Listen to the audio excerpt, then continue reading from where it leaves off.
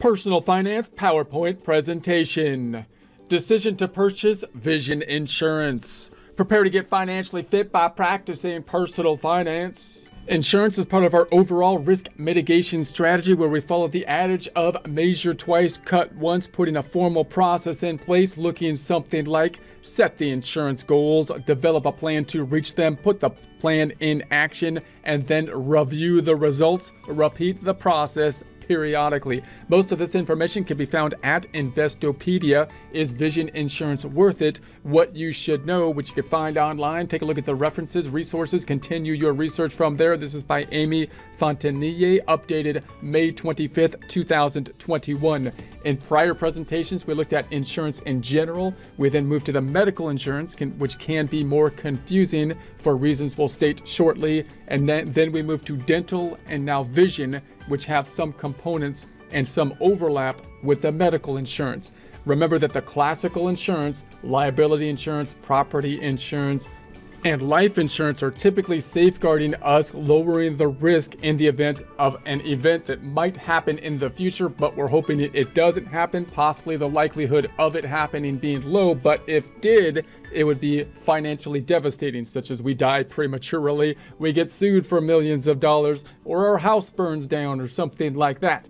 With the medical insurance, you have a similar characteristics because you could have a big a disease or something that comes suddenly and that could be financially devastating. And the medical insurance often has that out of pocket kind of cap where the insurance company will kick in over and above that, which can safeguard in a similar kind of fashion. But it also has that preventative kind of stuff involved in it as well. When we move to the eye and the dental, then there's some overlap in terms of what's going to be covered by medical and what's going to be covered by the eye and dental and the eye and the dental are often going to be things that are more kind of predictable in nature. So you might be doing less strategy for that big event of risk mitigation because that might be under the basic medical kind of plan and trying to think about how can I safeguard against or how can I basically lower my costs for something like my vision care and possibly use it to help me to kind of mitigate the overall risk if I was to have a more significant kind of problem with my eye care.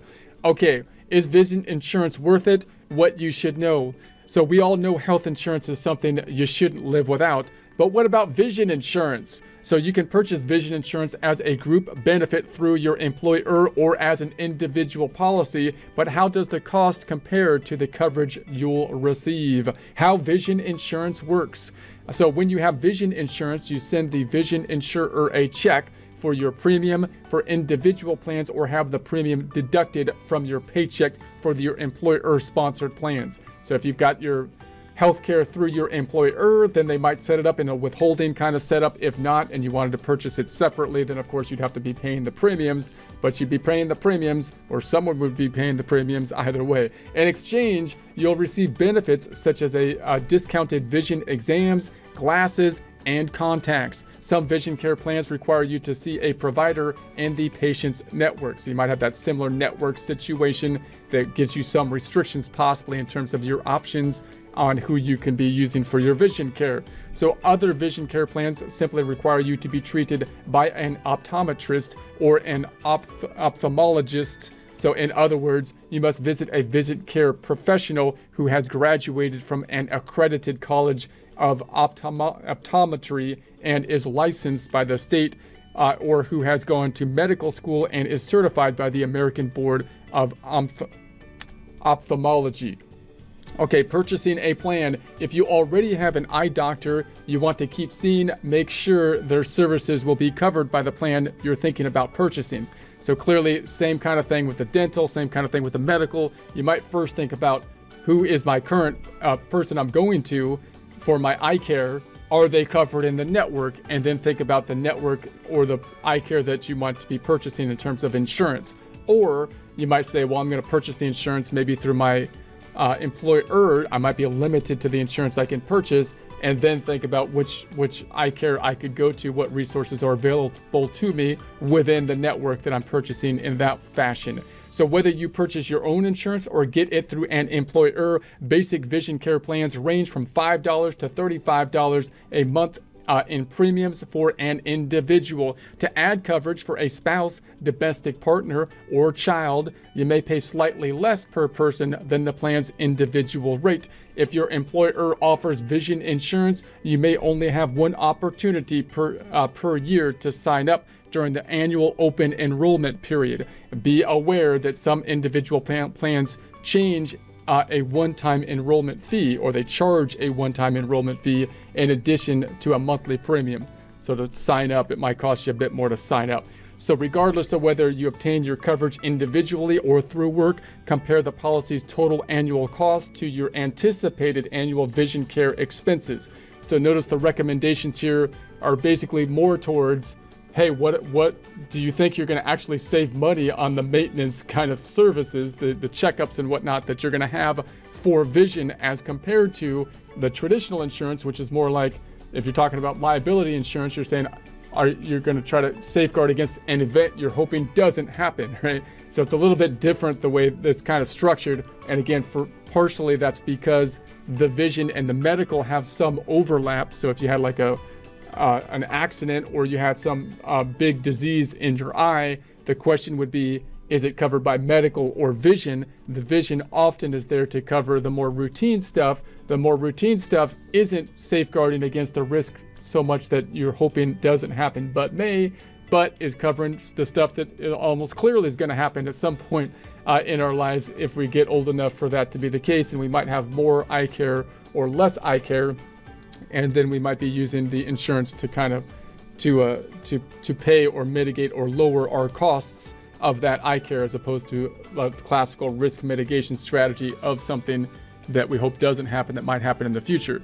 So you don't want to pay pay out more than you expect to receive. So how much could you save with vision insurance? Generally the only eye care covered by regular health insurance is care that a, a major eye injury or other major medical problem uh, necessitates. Once again, generally the only eye care covered by regular health insurance, so the regular health insurance, uh, is care that a major eye injury or other major medical problem uh, necessitates. So, in other words, that big event of getting in an eye ac- an accident or something like that might be covered over the medical side of things, whereas the eye care insurance might be covering more of the types of things that would be the preventative stuff and uh, the more routine kind of activities like the contact lenses and your checkups and updating your glasses and whatnot.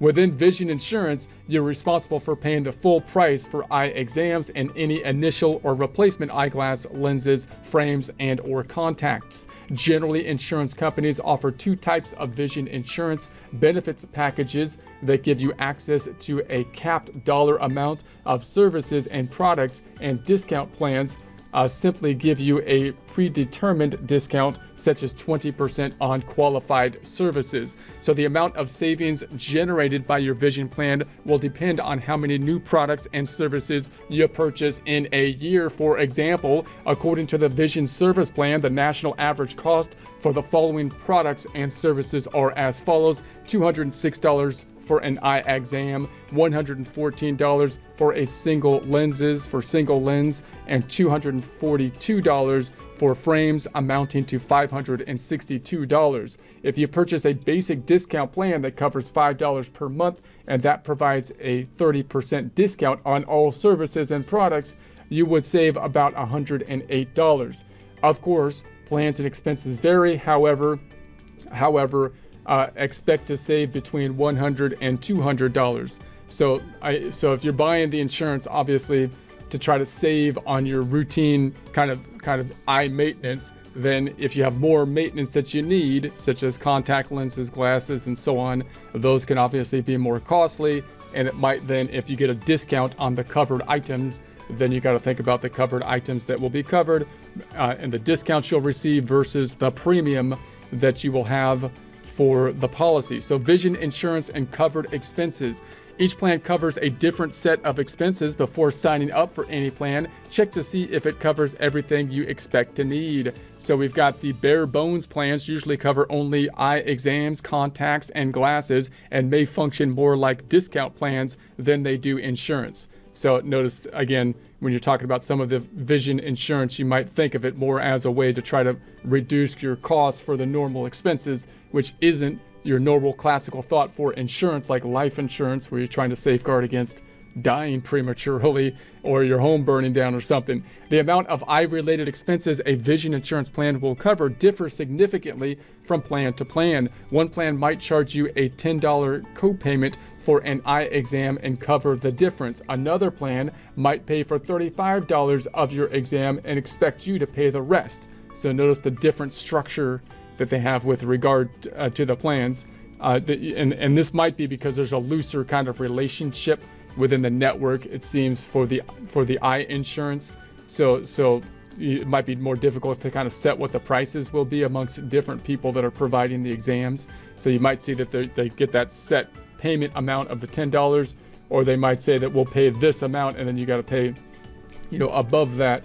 So it'll depend on the plan. So also a plan does offer coverage for eye surgery or permanent vision loss. It may not be be anything like the coverage you'd use to getting from health insurance. Once again, also, if a plan does offer coverage for eye surgery or permanent vision loss, it may not be anything like the coverage you're used to getting from health insurance. Example of vision insurance. The largest vision insurance provider in the United States is VSP Vision Care, funded in 1955 by a group of optometrists. VSP currently has 88 million members and more than 40,000 doctors in its network. VSP Vision offers two types of plans. We got the standard and easy options. For the standard plan, depending on your zip code, monthly premiums start at just $13 with an eye exam copay of $15, covering up to $150 in new frames. Though it does not cover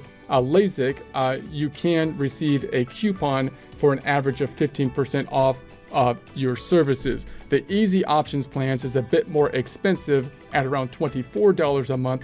This plan has all the same benefits of the standard, does but allows members to customize their benefits package by allocating more money toward the products they use more often. So we have the vision insurance plans limits. The limits, we've already touched on some of the limitations of vision insurance. You, uh, here are some additional factors to consider when deciding whether to purchase coverage. So the plan might cover lenses for glasses, but only basic lenses. So if you want the super fancy lenses, then possibly not. If you want lightweight or anti-glass lenses, you'll have to pay the extra cost. The plan might cover frames, but only up to a certain amount. So if you want a pair of $250 frames, only part of your cost will be covered. So if you're getting the glasses and the glasses are covered and you want the super cool brand name frame, then uh, then you might have to pay a bit more. So or the plan might cover the retail markup uh, of the frames and require you to pay the wholesale cost. Some plans uh, will only cover glasses or contacts, but not both during the same benefit period. If you wanted to update both your contacts and glasses, you would have to get contacts one year, then get another eye exam and choose the glasses benefits benefit 12 or 24 months later. So in other words, if you've got an eye problem and you need glasses, then you might want contacts, but you might want contacts and glasses so that you can wear your contacts when you don't want your glasses to be worn and then wear your glasses like at home or something. But you can't get both at the same time, but you might be able to do two separate exams and then get the coverage of the glasses and the contacts that way. So some plans have waiting periods ranging anywhere from 30 days to 36 months.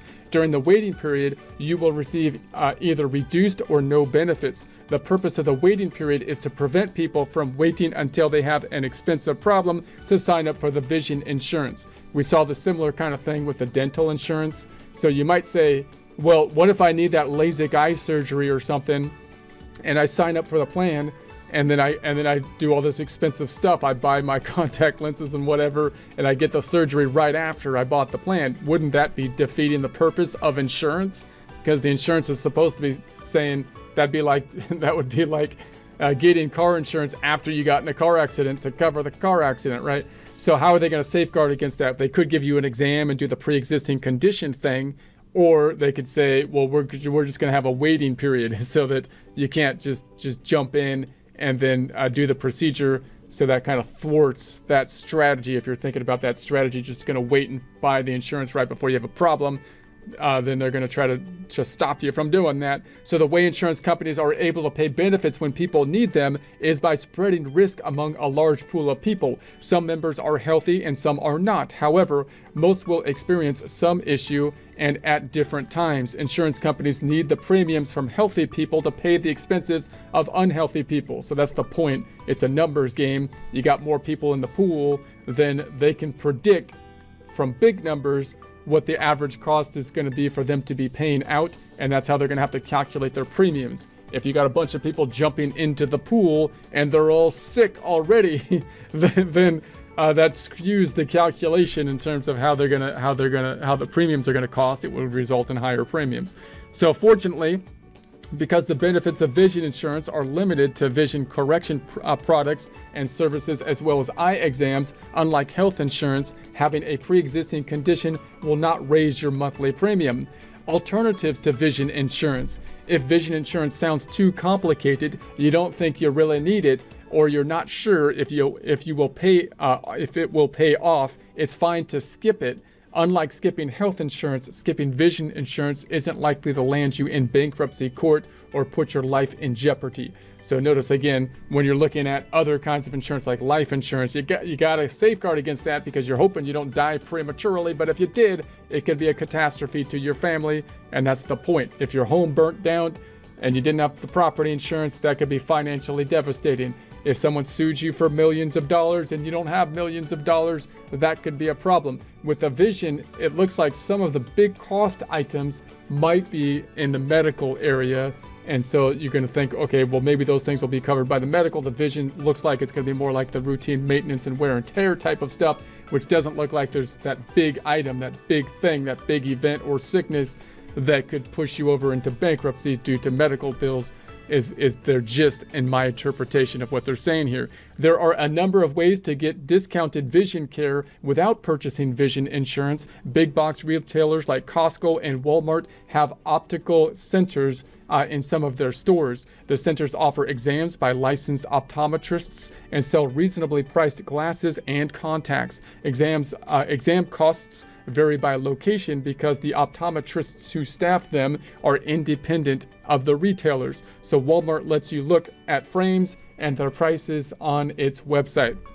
So if you're not terribly particular about your frames, you can order a complete set of glasses through an online retailer at a stunningly cheap price. For example, how does $6.95 $6.95 that sounds great for both lenses and frames with $5.95 shipping sound. That's I'm, I'm I want some frames right now. Some online stores will let you send them a pair of frames and they will add the uh, prescription lenses. So then you can actually get your custom frames and you say, put my lenses in that frame.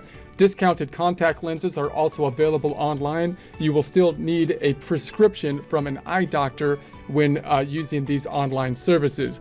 What vision insurance does, does Costco accept? Costco Optical accepts most major vision insurance plans. However, these plans vary depending on the Costco location. Discount plans are not accepted. So, what vision insurance does Walmart accept? Walmart accepts most vision insurance plans, but only for eye exams. Walmart offers its own vision insurance for customers wishing to purchase lenses, frames, and contacts. Uh, does vision insurance cover vision therapy? According to the Vision Therapy Institute, when insurance covers some of the costs for vision therapy, uh, it is covered by health insurance, not vision insurance. What's the bottom line? Deciding whether to purchase vision insurance can be tricky. It sure can.